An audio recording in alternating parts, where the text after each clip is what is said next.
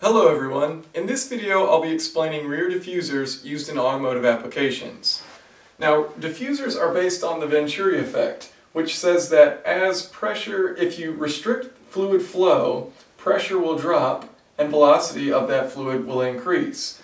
Now you can think of this, uh, say you go to a fast food restaurant and you get a soda and it comes in a styrofoam cup. Well take that styrofoam cup, pour out the drink or drink it, whatever, and use your straw and poke a hole in the bottom. Now if you put that uh, cup up to your mouth and you blow into the cup and seal it using your face, then the fluid flow will increase in the straw and the pressure will increase inside the cup. So if you put it up against your face and blow in, you'll notice the air moves quickly out of the straw and inside of that cup the pressure is going to be increased. Well this is the Venturi effect. So a diffuser basically does the opposite. So you've got uh, high pressure or low pressure, high velocity air moving through a constricted area and then you give that uh, constricted area an expansion chamber to let that fluid to expand into. Of course the fluid here just being air. So you've got, once again, you've got a low pressure, high velocity air coming in. Well as it moves across into this expansion chamber, your pressure is going to go up and your velocity is going to go down. It's going to have more space to fill, so it's going to come out fast, have all this space, and then just kind of slow out and uh, increase in pressure.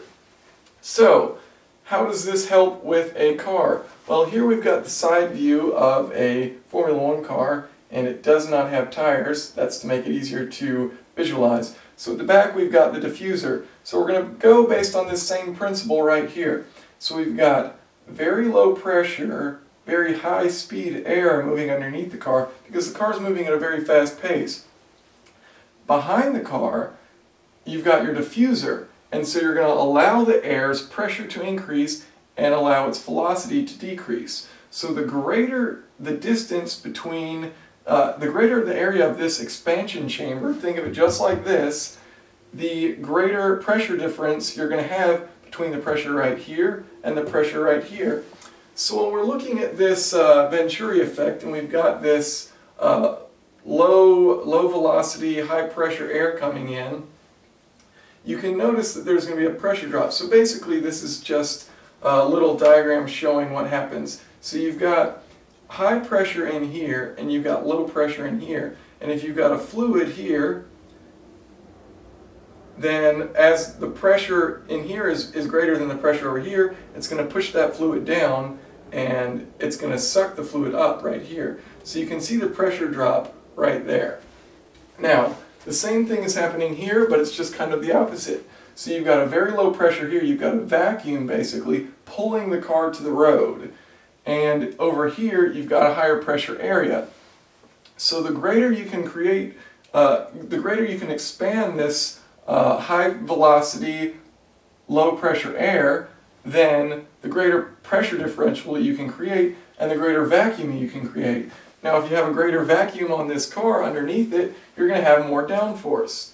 So this height is regulated in Formula One so that you can't just create an obscene amount of downforce. You make it a little bit safer for the drivers doing that because they're not going to be going around corners quite as fast as they could be.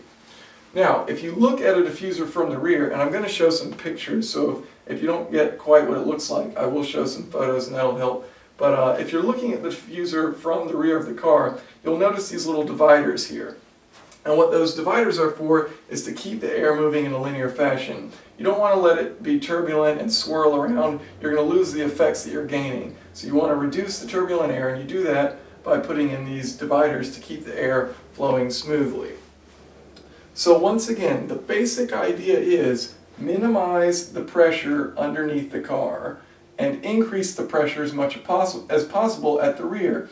So it will allow that air to create a vacuum. So the diffuser is literally sucking all of this air out. It's just pulling it all out.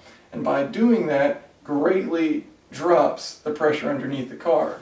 Now the pressure on top of the car will be atmospheric or perhaps above atmospheric because of course you've got spoilers and wings and things like that uh, pressing down. And so with a great pressure on top and a very small pressure below, you're going to pull that car down uh, with a great amount of force. So that's the basic idea of a diffuser Uh, now I'll just show a few photos. So here we have the rear diffuser of a Ferrari 599XX. This photo was taken at the Galleria Ferrari in Maranello. And you can see those dividers uh, down at the bottom for them, keeping the air linear. And you can see that the distance from the very back of the car obviously is, is a big gap from the ground. So that's that large expansion chamber.